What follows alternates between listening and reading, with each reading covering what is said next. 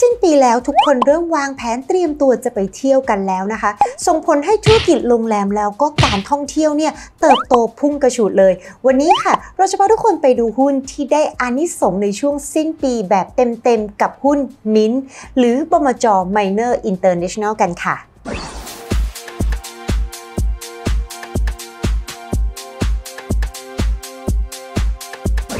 สวัสดีค่ะ วันนี้กับนัตตี้และ Stock Watch Consensus สองหุ้นร้อนช้อนหุ้นเด็ดกับหุ้นมิ้นหรือบมจ Minor International นะคะ ที่บริษัทมีแผนลดหนี้ชัดเจน โดยวางแผนจัดตั้งกองรีดขนาดใหญ่ ราว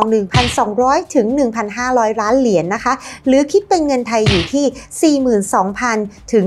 53,000 ล้านบาท ที่จะใช้เวลาจัดตั้ง 12-18 เดือนนำไปชำระหนี้และลงทุนขยายธุรกิจต่อเนื่อง ช่วยลดความกังวลเรื่องหนี้สูงสามารถลดภาระดอกเบี้ยจ่าย หนุนกำไรสุทธิเพิ่มขึ้น ขณะที่ธุรกิจโรงแรมในยุโรปยังคงแข็งแกร่ง ส่วนธุรกิจอาหารก็ขยายสาขาต่อเนื่อง งานนี้โบรกรวมใจชี้เป้า ซื้อ โดยมีราคาเป้าหมายสูงสุดอยู่ที่ 42 บาทค่ะ มาดูความคิดเห็นของแต่ละโบรกกันค่ะ เริ่มต้นกันที่นางสาวเกวลี ทองสมอาง ผู้อำนวยการฝ่ายวิเคราะห์หลักทรัพย์บล.บัวหลวง ที่มองว่าบริษัทยังคงตั้งเป้าลดหนี้สินสุทธิ ที่มีภาระดอกเบี้ยต่อทุน และในสิ้นปี 68 จะลดลงมาที่ 0.7 เท่าทำให้ balance sheet ดีขึ้น หลังจากที่มีหนี้สินเพิ่มขึ้นในช่วงโควิด โดยบริษัทมีแผนจัดตั้งกอง REIT ที่คาดนำโรงแรมในเอเชีย ทั้งไทยและมัลดีฟส์ขายเข้ากอง REIT คาดขนาดนาดกองทุนประมาณ 1,500 ล้านเหรียญหรือประมาณ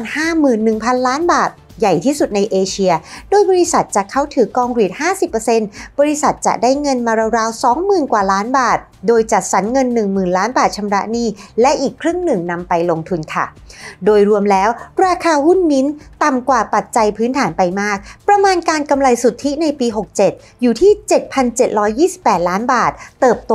20%และในปี 68กำไรสุทธิ 8,339 ล้านบาท เติบโต 10%โดยมองว่าธุรกิจในปี 68 จะกลับมาปกติ หลังช่วงปี 66 ถึงปี 67 ที่เห็นการปรับตัวขึ้นของราคาห้องอย่างมากค่ะทางด้านบลดาโอประเทศไทยค่ะ ที่มีมุมมองเชิงบวกต่อมิ้นนะคะ จากแผนการจัดตั้งรีดที่จะช่วยลดความผันผวนได้หลายทาง ทั้งลดหนี้ ลดความผันผวนของค่าเงิน และขยายกิจการได้อย่างต่อเนื่อง โดยอยู่ระหว่างศึกษาว่าจะ listing ที่ประเทศไทยหรือสิงคโปร์นอกจากนี้ผู้บริหารตั้งเป้าการเติบโตของรายได้ใน 3 ปี ตั้งแต่ปี 67ถึง69 จะอยู่ที่8ถึง10%โดยจะเน้นการปรับค่าห้องพัก เพิ่มขึ้นในทุกๆ ประเทศ โดยเฉพาะที่ยุโรปจะมีการรีแบรนด์ราว 30 โรงแรมภายในปี 67ถึง69 ซึ่งคาดว่าจะช่วยให้ ADR เพิ่มขึ้นได้มากกว่า 20%ค่ะ โดยในปี 67 นี้ค่ะ ยังมีแผนที่จะลด Net DE ค่ะ เหลือ 0.8 เท่าจาก Q3 ค่ะที่ 0.98 เท่าทำให้หนี้ลดลงราว 15,000 ล้านบาท โดยนำเงินสดที่มีอยู่ มาชำระเงินกู้ยืมระยะยาวบางส่วน และจะมีการนำลูกหนี้บางส่วนออกมาขาย คาดว่า Q4 ปีนี้จะโต year on year ได้ต่อ เพราะเป็น High Season ที่ไทยและมาลดีฟเข้ามาช่วยหนุน รวมถึงค่าใช้จ่ายดอกเบี้ยจะลดลงจากการทยอยคืนหนี้ค่ะ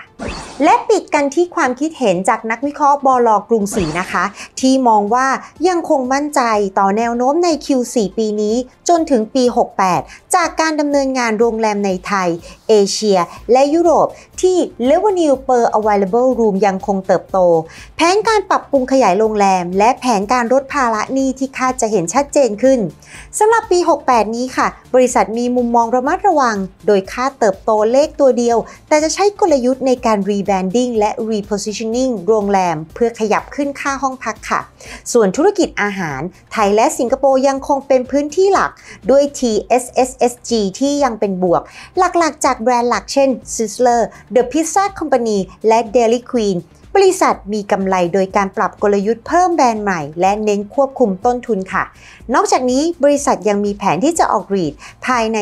12-18 เดือนข้างหน้า เพื่อช่วยลดภาระหนี้และความเสี่ยงจากความผันผวนของอัตราแลกเปลี่ยน แต่ปัจจุบันยังไม่เปิดเผยถึงรายละเอียดค่ะและคลิปหน้า Stock Watch Consensus ส่องหุ้นร้อน ช้อนหุ้นเด็ด จะพาคุณไปพบกับหุ้นตัวไหน อย่าลืมติดตามกันนะคะ แล้วพบกันใหม่คลิปหน้าค่ะ สวัสดีค่ะ